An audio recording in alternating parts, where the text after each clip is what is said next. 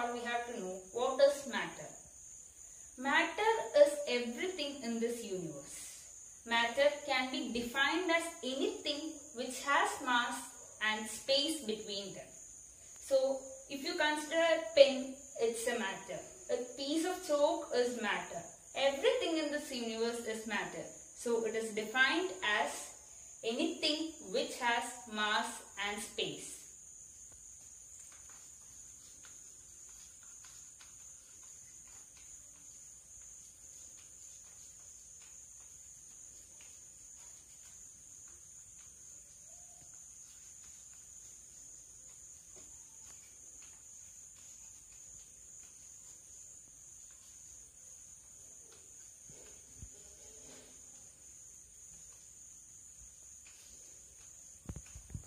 So we said matter is everything in the universe.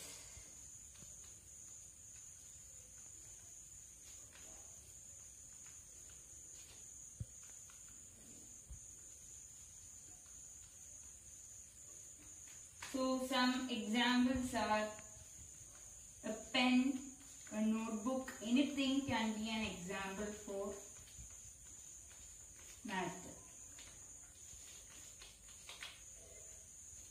Thus, matter is composed of both chemical nature and physical nature. So, physical and chemical. In this chapter, we will be learning about the physical nature of matter. And the first point in that is matter is made up of particles. Matter is made up of particles. The second point is that how tiny these particles are. That is the size of the particles.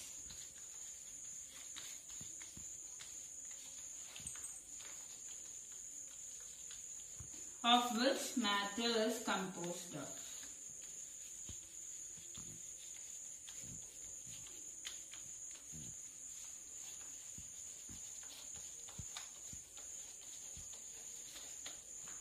So the first point under the physical nature of matter is that matter is made up of particles.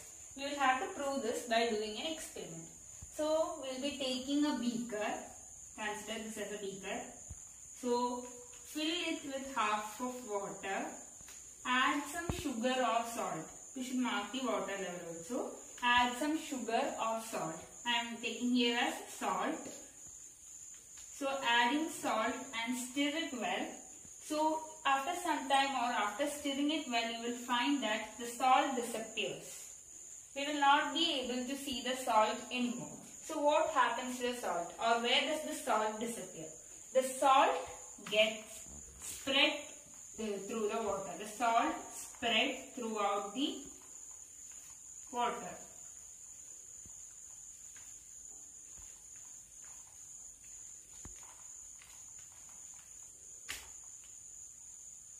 So the salt has disappeared and the salt is spread throughout the water. What happens is that the salt gets into or get mixed with the particles of uh, the water molecules. That is, it gets into the space in between the water molecules. There will be space in between the water as water is made up of mo many molecules. So it get the salt uh, gets what say the salt will mix and the uh, salt will get into the spaces in between the particles of water. So the next point about the physical nature of the matter is that how small these particles are. We said that matter is consisting of small particles uh, or we said matter is of made up of particles. So we have to now check how small these particles are or how tiny these particles are. So for this, there's another experiment. That is, take 2 to 3 crystals of potassium permanganate.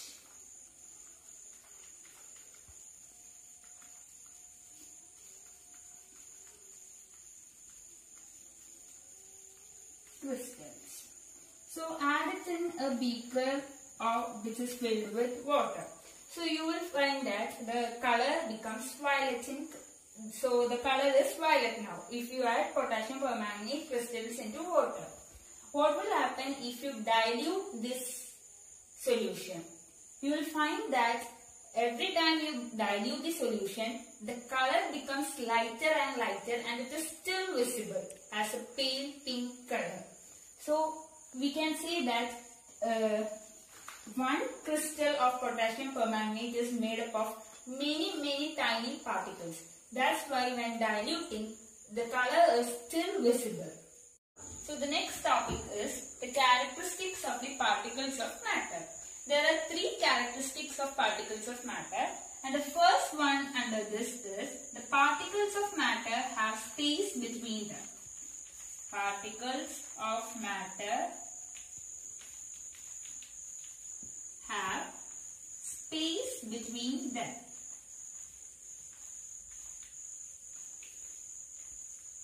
That's the first one. The second point is that the particles of the matter are continuously moving. Particles of matter are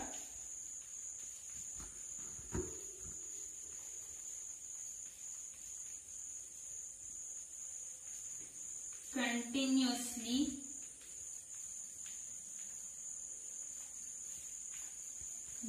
And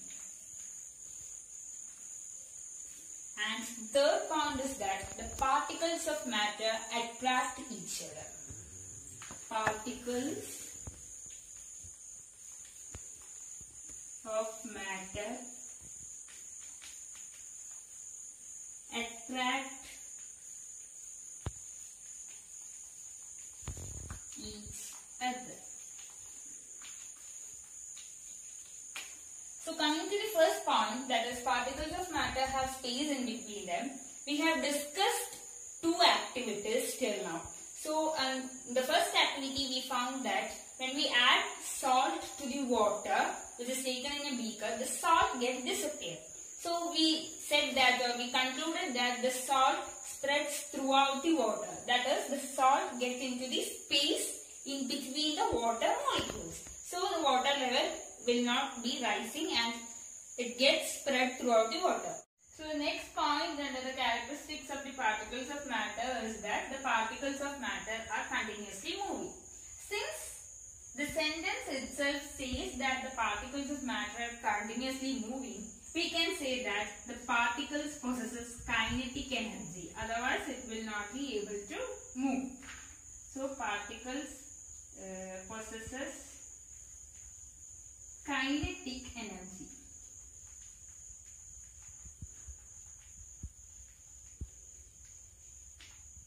So, if uh, we said that the particles are having kinetic energy, so the kinetic energy will increase when the temperature increases. So, when the kinetic energy increases, the particles also will be moving faster. So, as the temperature increases, the kinetic energy of the particle increases. The third point under the characteristics of the particles of matter is that the particles of matter. So doing an activity, take an iron nail and a rubber band. Hammer both. You will find that the iron nail has greater strength and it will not break. But the rubber band will lose its strength. So after doing this activity, we can conclude that the strength varies from uh, a matter to matter. That is, the force of attraction is different between different particles. So we can conclude that the particles of matter attract each other and this force of attraction is different from matter to matter. The next topic in this chapter is the states of matter. We all know that there are three different states of matter and those are solids, liquids and gases. You have you may have learned this in your previous classes too. So first let's look into solids. So solids have their definite shape. Solids have definite shape. They have uh, definite boundaries.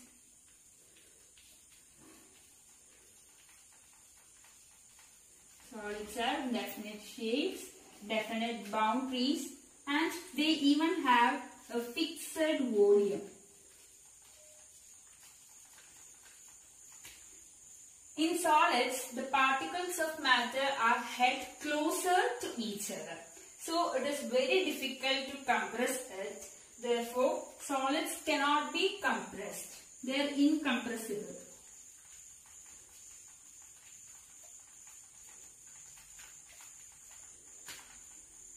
It is very difficult to change the shape of a solid. But a solid can break. When the solid breaks, there is no uh, guarantee that the shape uh, of the solid will change. That is, the solids will maintain a shape but it may break. Therefore, the solids are rigid. So once more, solids have definite shape, definite boundaries, they have a fixed volume, they are incompressible and they are rigid. The next state of matter is liquids. We all know that liquids does not have a defined shape. It takes the shape of the container in which it is filled. But the important point is that liquids have a fixed volume. So liquids, no defined shape.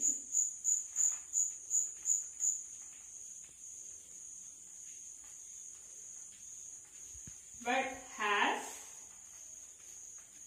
fixed volume. Next is, next point is the liquids move faster. They can change the shape as it does not have any specific shape. So we cannot call liquids as rigid. We call liquids as fluids.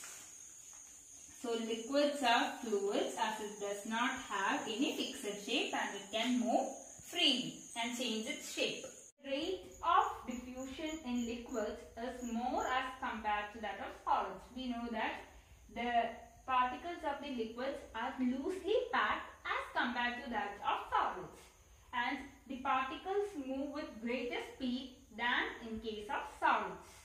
Rate of diffusion in liquids is more as compared to that of solids. We know that the particles of the liquids are loosely packed as compared to that of solids and the particles move with greater speed than in case of solids. The third state of matter is the gas or the gaseous state. The gas, gas is highly compressible. Highly compressible. For example, gas means LPG and CNG fuels are gas. They can be transported easily. So, in this gaseous state, what I have to say is that the, the rate of diffusion in gas is more, more as compared to solids and that of liquids because the particles of the gas, uh, gaseous state they move uh, randomly with greater speed. So uh, they have more diffusing property. So that's all about solids, liquids and gaseous states. Your suggestions can be put in the comment box and if you like the video, do like it, share it and do subscribe our channel Stutors and tap on the bell icon. Thank you.